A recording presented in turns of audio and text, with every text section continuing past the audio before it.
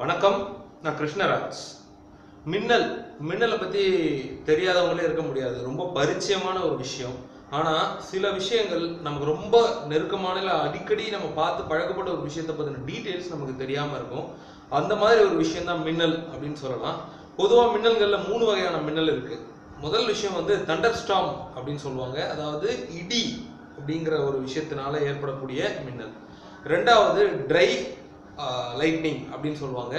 நம்ம கேள்விப்பட்டிருப்போம் மேற்குலகில் அதிகமாக அமெரிக்காலலாம் வந்து இந்த வெஸ்டர்ன் அமெரிக்காவில் நிறைய இந்த ஃபாரஸ்ட் ஃபயர் இப்போ கூட அமேசானில் ஃபாரஸ்ட் ஃபயர் இது எல்லாத்துக்குமே காரணமாக சொல்லப்படுறது இந்த ட்ரை அதாவது எங்கே காட்டுத்தீ ஏற்பட்டாலும் இதுதான் காரணம் நான் சொல்லலை. ரெண்டாவது வகையான கிளாசிஃபிகேஷனில் இருக்கக்கூடிய இந்த வகையான மின்னல்கள் ட்ரை லைட்னிங் அப்படின்னு சொல்லப்படுது.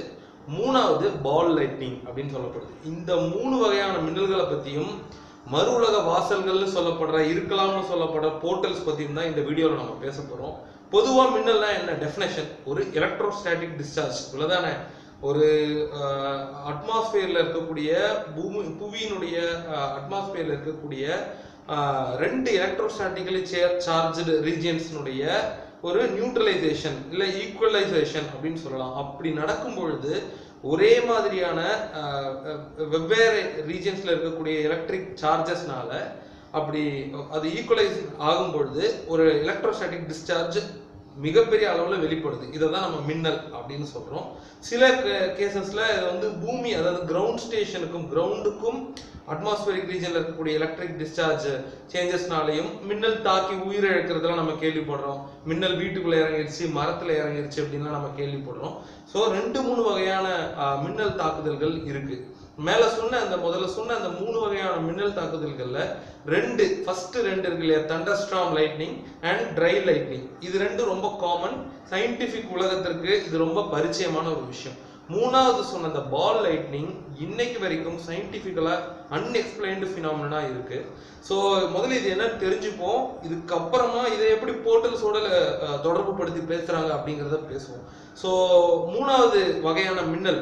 முதல் வகை வந்து தண்டர்ஸ்டாம் எல்லாருக்கும் தெரியும். கருமேகங்கள் சூழ்ந்திருக்கும் பொழுது ஒரு மேகத்துக்குள்ளேயே உருவாகக்கூடிய ஒரு எலக்ட்ரிக் டிஸ்சார்ஜ் உள்ள ஒரு மேகமும் இன்னொரு மேகமும் இடிச்சு மழையா கொட்டும் பொழுது ஏற்படக்கூடிய எலக்ட்ரிக் டிஸ்சார்ஜ் அந்த ஒரு ஃபிராக்ஷன் ஆஃப் செகண்ட் அதை வந்து நம்ம வந்து தண்டர்ஸ்டாம் லைட்னிங் அப்படின்னு சொல்றோம். ரெண்டாவது dry lightning as the name suggest எங்கெல்லாம் ரொம்ப ப்ரெசிபிடேஷன் ரொம்ப கம்மியா இப்போ precipitation என்ன? ஒரு மேகத்துக்குள்ள இருக்கக்கூடிய அந்த ஹியூமிடிட்டியை தான் நம்ம precipitation சொல்றோம்.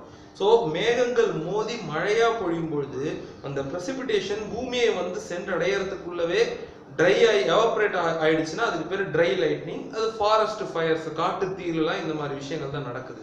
இந்த பால் லைட்னிங்கிறது நைன்டீன்த் செஞ்சுரிஸ்லேருந்து தொடர்ச்சியாக நம்மளுடைய மனித குல வரலாறுல இதை பற்றி ரிப்போர்ட்ஸ் இருந்தாலும் இதை நம்புறதுக்கு விஞ்ஞானிகள் ஆயிரத்தி தொள்ளாயிரத்தி அறுபது வரைக்கும் தயாராக இல்லை. காரணம் என்னன்னா இது ஒரு ஸ்கெப்டிக் விஷயம். அதாவது அமானுஷ்ய விஷயம் அப்படின்னு கிளாஸிஃபை பண்ணி வச்சுட்டாங்க.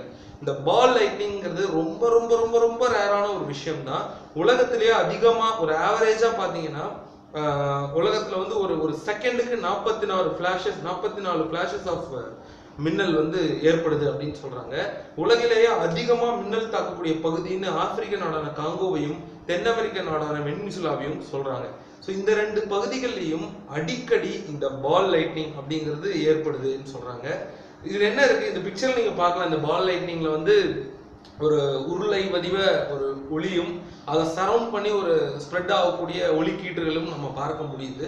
ஆனா இதுக்கான கரெக்டான ஹைப்போதிசிஸ் ஹைப்போதிசிஸ் ஏன் சொல்றோம்னா அது ஒரு உருவாக்கம் தான் சயின்டிஃபிக் ப்ரூஃப் இல்லை. அது இல்லாததுனால நிறைய அவங்கவுங்க அவங்கவுங்க காலகட்டத்துக்கு ஏற்ற மாதிரி நிறைய இந்த மாதிரி தியரிஸ் இதுக்குள்ள சொல்றாங்க. எக்ஸாம்பிள் இந்த எலக்ட்ரிக் டைபோல் தியரி அப்படின்னு ஒரு தியரி இருக்கு. வேக்யூம் தியரி அப்படின்னு ஒன்று இருக்கு. பிளாஸ்மா தியரின்னு இருக்கு. இது நியூமரஸா இருக்கு. நான் சும்மா எனக்கு ஞாபகம் வர்றதை நான் இப்போ சொல்றேன். நியூமரஸ் தியரிஸ் இருக்கு. இந்த பால் லைட்டிங் உருவாகுது ஓகே வெல் இதுக்கும் மறு உலக தொடர்புக்கும் என்ன? மறு உலகம் அப்படிங்கிறது இருக்கா? இணை பிரபஞ்சங்கள் என்றது இருக்கா? பேரல் டைமென்ஷன்ஸ்ன்றது இருக்கா? நாம வாழற இந்த பூமி மாதிரியே வேற ஒரு ஹையர் டைமென்ஷன்ஸ்ல லைட் பீயிங்ஸோ இல்ல ஹியூமன் பீயிங்ஸோ கூட இருக்கலாம் அப்படின்னு சொல்லி குவாண்டம் பிசிக்ஸ் சொல்லுது இல்லையா? ஒரு எனர்ஜி ஸ்டேட் இருக்கலாம். நம்மளை விட அதிகமான இல்லை நம்மளை விட கம்மியான எனர்ஜி ஸ்டேட் இருக்கலாம். அந்த பாயிண்ட் ஆஃப் வியூல மட்டும்தான் இதுக்கு சயின்டிஃபிக் ரேஷனல் கிடைக்குது.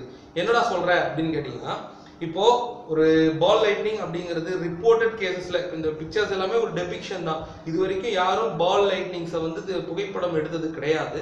ஆனா ரெண்டாயிரத்தி பதினாலு டிசம்பர்ல யூகேல அதாவது யூகேக்கு மேல பறந்துட்டு இருக்கக்கூடிய பிரிட்டிஷ் ஏர்வேஸ் விமானம் I think B E six seven eight zero இந்த விமானத்துல தான் கடைசியா இந்த மாதிரியான பால் லைட்னிங் சமீபத்துல கடந்த ஒரு ஐந்து வருடங்களுக்கு முன்னாடி இப்படி ஒரு அனுபவம் வரலாறுல பதியப்பட்டிருக்கு. ஸோ இந்த மாதிரி ஒரு உருளை வடிவான மின்னல் எப்படி உருவாகுது இயற்கையில அப்படிங்கிறது விஞ்ஞானிகளுக்கு மிகப்பெரிய ஆச்சரியமா இருக்கு. கூடவே லேபார்டரி செட்டப்ல இதை வந்து உருவாக்க முடியும். அதாவது விஷுவலா பால் லைட்னிங் மாதிரியான ஒரு விஷயத்த ஒரு பரிச்சார்த்த முயற்சியின்படி ஒரு லேபார்டரி பேஸ்டு எக்ஸ்பெரிமெண்ட்ஸ்ல உருவாக்க முடியும்னு கண்டுபிடிச்சிருக்காங்க. ஆனா இயற்கையில் இது எப்படி நடக்குது? இவங்க லேபார்டரியில சில அட்மாஸ்பியரிக் ப்ரெஷர் மாதிரியான சிமுலேஷன்ஸ் பண்றது மூலமா இந்த பால் லைட்னிங்ஸை கொண்டு வந்தாலும் அது வந்து இயற்கையில் எப்படி நடக்குதுங்கிறது அறிவியலால் விளக்க முடியல. அட் த சேம் டைம் இந்த ஸ்கெப்டிசம் இல்லை இந்த மாதிரி மறு உலக தொடர்புகள் எல்லாம் மறு உலக வேற ஒரு பிரபஞ்சத்தில் இணை பிரபஞ்சத்தில் உயிர்கள் இருக்கலாம் நம்புறவங்கக்கிட்ட இதுக்கான பதில் இருக்கிறதா சொல்லப்படுது. ஸோ இதுதான் சரியான தீர்வுன்னு நம்ம சொல்லலாம் இப்படி ஒரு பார்வை இருக்கு அப்படின்னு சொல்கிறோம் அவ்வளோதான் இந்த பால் லைட்னிங்கில் வெளிப்படக்கூடிய எனர்ஜியானது வேற ஒரு ஹையர் எனர்ஜி லெவல் ஒரு குவாண்டம் எனர்ஜி ஸ்டேட்ல இருந்து இங்க உமிழப்படுது அப்படின்னு சொல்றாங்க. உலகளாவிய அளவில் இந்த பால் லைட் நீங்கள் பார்த்த மக்களினுடைய டெஸ்டிமோனியல் இருக்குல்ல அவங்களுடைய வாக்குமூலம். அதில் வந்து அவங்க சொல்கிறது என்னன்னா ஒரு ஹியூஜ் பால் ஆஃப் லைட் அது அப்படியே வெடித்து எக்ஸ்ப்ளோர் பண்ணி சிதறி ஒரு சல்ஃபர் ஸ்மெல்ல கொடுத்தது. இப்போ சல்ஃபர் ஸ்மெல் நமக்கு தெரியும். இந்த நாட்டு வெடிகுண்டெல்லாம் நம்ம வச்சிருப்போம் தீபாவளிக்கெல்லாம். ஸோ அப்போ ஒரு ஸ்மெல் வரும் இல்லையா? இந்த சல்ஃபர் ஸ்மெல் ஸோ அந்த மாதிரியான ஒரு ஸ்மெல்லை நாங்கள் உணர முடிஞ்சதுன்னு இன்வேரியபிள் ஆஃப் ஜாகிரபிக் லொக்கேஷன்ஸ் உலகினுடைய வெவ்வேறு பகுதிகளில் இதை பற்றி சொல்கிறாங்க பட் இது வந்து வேற ஒரு ஹையர் எனர்ஜி டைமென்ஷன்ஸ்லேருந்து பூமியை நோக்கி இல்லை பூமியினுடைய அட்மாஸ்பியருக்குள்ளே என்டர் ஆச்சு அப்படின்னா அப்போ இதுக்கும் அந்த ஹையர் டைமென்ஷன்ஸ்க்கும் ஏதோ ஒரு கனெக்ஷன் இருக்கணும். எந்த ப்ரூஃப் வச்சு இது சொல்கிறாங்கன்னு கேட்டால் பதில் இல்லை. இது ஒரு அன்எக்ஸ்பிளைன்டு ஃபினாமினன் மறு உலகம் இருக்கா? பேரல டைமென்ஷன்ஸ் இருக்கா? சிமிலர் மல்டிவர்சஸ் இருக்கா? அப்படிங்கிறதே இங்கே கேள்விக்குறியா இருக்கும் பொழுது அங்கிருந்து வந்ததா இல்லை அங்கிருந்து ஒரு இ- இந்த நம்ம வாழற இந்த உலகத்துக்கும் அந்த உலகத்துக்கும் ஒரு ஒரு வாசல் மாதிரியான ஒரு கேட் மாதிரியான ஒரு போர்ட்டல் நம்ம ஏற்கனவே ஓட்டெக்ஸ் பற்றி பேசியிருக்கோம். பூமிக்குள்ளேயே சில இடங்கள்ல இப்போ பெர்முடா ட்ரையாங்கிள் மாதிரி ஜப்பானுடைய டெவில்ஸ் ட்ரையாங்கிள் மாதிரி சில இடங்கள்ல சில போர்ட்டல்ஸ் இருக்கலாம் அப்படின்லாம் பேசியிருக்கோம். அந்த வரிசையிலே இதையும் சேர்க்கலாம் அப்படிங்கிறத என்னுடைய கருத்து. அதாவது போர்ட்டல்ஸ் அப்படிங்கிறது இருக்கு அப்படின்னு ப்ரூவ் ஆச்சுன்னா அப்போ இந்த பால் லைட்னிங்ஸை மறுபடியும் அனலைஸ் பண்ணா கண்டிப்பா நமக்கான பதில்கள் கிடைக்கலாம் அப்படிங்கிறது என்னுடைய கருத்து. இதை பத்தி நீங்க தெரிஞ்சுக்கணும்னா just Google ball lightning B A double L lightning இன்னொரு யூனிக்கான சிந்தனை தூண்டுற வீடியோவில் மீட் பண்ணுவோம். நன்றி.